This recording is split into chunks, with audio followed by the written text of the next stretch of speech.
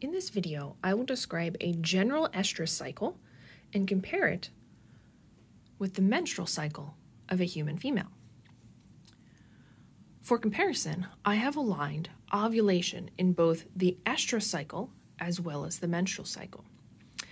At ovulation, in both the menstrual cycling animal, the human, and an estrous cycling mammal, prior to ovulation, this is called the follicular phase. And it's called the follicular phase because in both types of animals, a dominant follicle secretes abundant estrogen into the blood. And so here we can see estrogen is going to increase in the time leading up to ovulation. Similarly, in an estrus cycling animal, a dominant follicle is going to secrete estrogen into the blood. And so once again, we can see that there is an increasing level of estrogen in the blood prior to ovulation. Note that the follicular phase of both the human and the estrus cycling animal, um, it's called the follicular phase because the follicle is secreting estrogen and therefore it is the dominant structure during this period. While the pattern is the same, an increase in estrogen secreted by the dominant follicle in both types of animals. As we can see in this uh, in this graph down here, the follicular phase is much shorter in um, the estrous cycling animal. So it is much shorter. Also, this phase can be broken into two different subphases. Okay, so as we can see down here, these are the terms that are specific to the estrous cycle. For the first portion of the follicular phase. And so I'm just saying portion and not specific numbers of days because um, it varies from animal to animal. For example, in a mouse, the entire cycle is only four days, as opposed to in cattle, the entire cycle is 21 days, which is actually what we see in this image here. In a dog, it's about 60. And so for the first uh, brief portion of the follicular phase, this is called proestrus. Right? During proestrus, um, the follicle is preparing for ovulation and is developing um, in largely the same ways that we see in a menstrual animal. Okay. Um, next, there is a very brief window, right? And when I say brief, I mean this is about 12 hours in a mouse and even in um, cattle, in this example here. Um, in dogs, it's about seven days. In sheep, it's about two days. So variable um, period here. But this phase is called estrus. And so this is when the animal is um, fertile. This is when the animal is behaving in a way that is going to promote reproduction. So very receptive to uh, intercourse. Also, this is the time when you might see bloodshed. Okay, so as I can see over here, during estrus, bleeding might be possible, not because the endometrium is being shed, right, so nothing at all like in the menstrual cycle when the entire endometrium is shed. Okay, instead, um, blood might be shed right around ovulation just because there is additional blood flowing through the genitals. Um, there might be a pheromonal signal in here for the male animal as well. This is not a period. This is not the endometrium being shed. This is just residual blood um, from increased blood flow to the genitals. So that is a huge difference between menstruation, and estrus. Okay. So, once again, the follicular phase is the phase leading up to ovulation in both menstruation as well as in estrus, the estrus cycle. Okay. In estrus animals, this phase is broken into proestrus when the follicle is developing, and estrus when the animal is receptive to reproduction. Okay.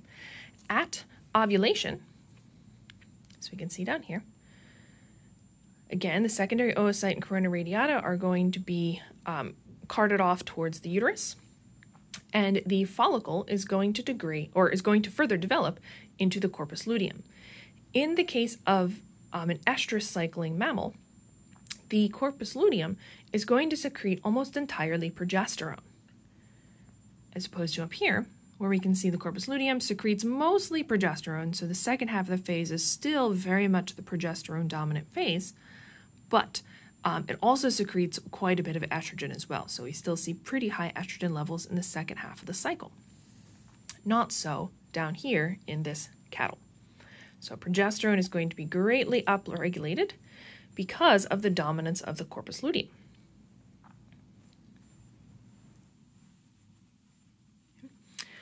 This phase in both the uh, menstrual cycling animal as well as estrous cycling mammal is called the luteal phase because the corpus luteum is dominant at this part of the cycle. So here, this is the luteal phase and the luteal phase of the ovarian cycle in the menstrual cycle as well. Okay. In the estrous cycle, the luteal phase has a different um, or has another name, and that's called diestrus. And so this is the period when um, the embryo um, may be implanting within the uterine wall. This is the period where the endometrium needs to be maintained in order for um, possible uh, development of offspring. Okay. The end of the luteal phase is triggered by a different mechanism in menstruation or the menstrual cycle versus the estrous cycle.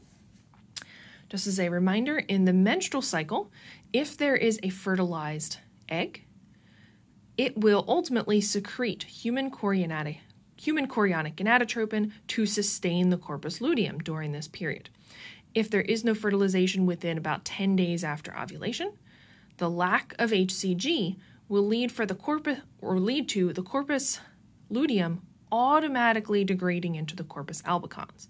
So in the absence of baby or baby hormone, in fact, corpus luteum automatically degrades. And with it, um, as the corpus luteum cells die, less and less progesterone and estrogen are um, secreted. Similar in a lot of ways, but not certainly not identical. Um, in the estrous cycle, the uterus is what is responsible for triggering the degradation from the corpus luteum into the corpus albicans. If the uterus does not detect an implantation, it is going to release another hormone, PGF2 alpha, and this hormone triggers the corpus luteum to degrade into the corpus albicans. The result is the same as the corpus luteum degrades, that is, it goes through luteolysis, right, breakdown of the corpus luteum, less and less progesterone is secreted. Okay, so this triggers the end of the luteal phase.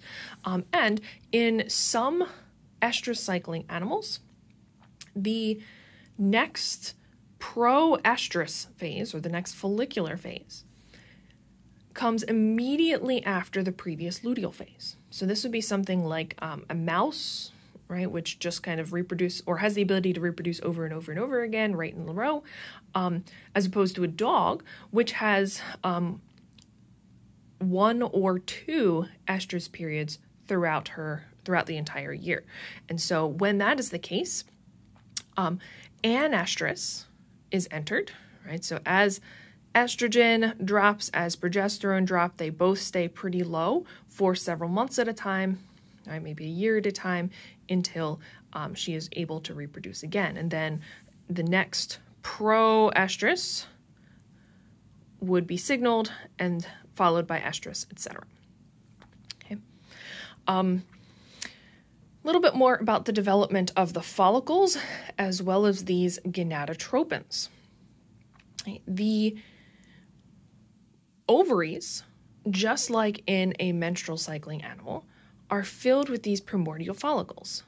During diestrus, that is the luteal phase, the or a pool of follicles are recruited and they continue their development.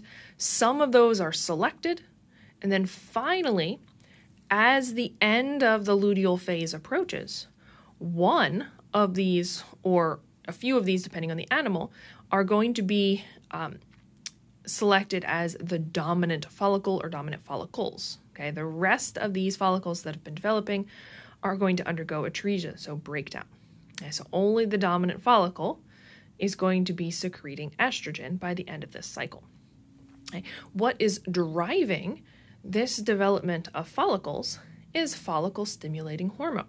So we can see follicle stimulating hormone is fairly high during the luteal phase of the estrous cycle. Okay. Uh, luteinizing hormone here is pretty low until this orange line here um, designates the end of diestrus, that is the luteal phase, and the beginning of the follicular phase. Here, we see an increase in LH until around about ovulation. Okay, so ovulation is here. LH triggers ovulation and stimulates the remaining fo follicular cells to develop into the corpus luteum. Okay, that is similar to the menstrual cycle. So here we have this surge of LH right before ovulation, which also triggers the follicle to develop into the corpus luteum. What is different, however, is the fact that FSH is higher during the luteal phase, as opposed to in the menstrual cycle, where it is still very low during the luteal phase. Okay, so that is a significant difference here. Again, these, this follicle stimulating hormone is higher during the luteal phase um, in order to recruit and select and develop um, ultimately the dominant follicle. And then this dominant follicle is going to um, regulate, uh, you know, this phase here, the follicular phase. Once again, this has been uh, a comparison between the menstrual cycle and the estrus cycle. Okay. Key differences are the length of the follicular phase is much shorter compared to the luteal phase. Okay. The bloodshed, if there is any bloodshed, is during estrus, so right around ovulation, as opposed to at the end of the last cycle and the beginning of the next cycle when the endometrium actually degrades and is released as a period. Here in estrus, the endometrium is reabsorbed um, and kind of recycled for the next time. The uterus in an estrus cycle is what triggers the degradation into a corpus albicans, as opposed to the lack of HCG in the menstrual cycle. Okay. Um, similarities follicular phase is still dominated by estrogen in estrus and menstruation. Progesterone dominates the luteal phase in both as well. Thank you very much for watching. I hope that this helped to clear this, this concept up a little bit for you.